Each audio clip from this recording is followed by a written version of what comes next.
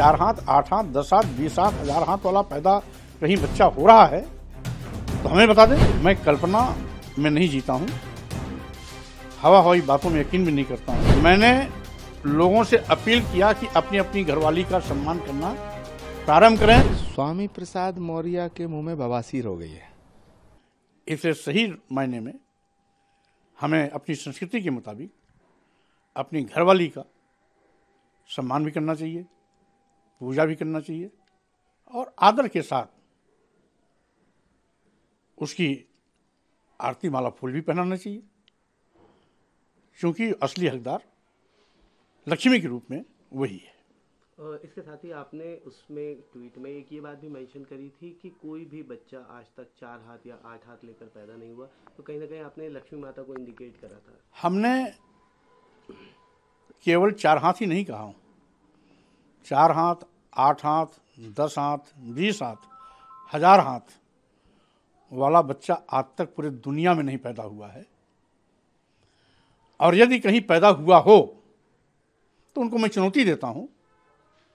वो उसे हमें बताएँ, हम उसे स्वीकार करेंगे।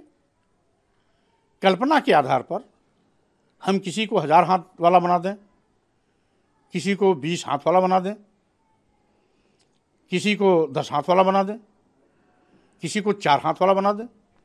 तो कल्पना कल्पना होती है। कल्पना हवा हवाई होती है। इसलिए मैंने तो वो बात कही है, जो व्यवहारिक है, सत्य पर आधारित है, वैज्ञानिक भी है और सनातन भी है।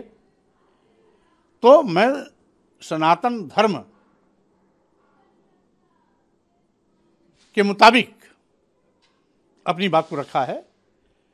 अगर किसी को कोई इतराज़ है तो मैं ये भी कहना चाहता हूँ, ये बात मैंने लोगों से अपील किया कि अपनी अपनी घरवाली का सम्मान करना प्रारंभ करें तो इससे घर घर की सुख समृद्धि आगे बढ़ेगी, क्योंकि सही मायने में घर की लक्ष्मी वही है। हमारी भावना किसी को दुख पहुँचाने का नहीं है। हमारी भावना किसी पर चोट करने की नहीं है। हमारी भावना केवल अपने अपने घरों की महिलाओं को सम्मान देने की अपील के रूप में है, अपने घरवाली को पूजा, सम्मान, प्रतिष्ठा देने की बात की है। और इसीलिए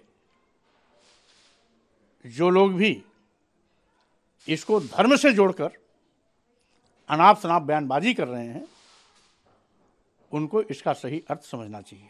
सर स्वामी प्रसाद मौर्य ने सनातन धर्म को लेकर एक बयान दिया है जिसमें कहा है कि चार हाथ वाली कौन दुर्गा इस देश में पैदा हुई है? स्वामी प्रसाद मौर्य के मुँह में बवासीर हो गई है।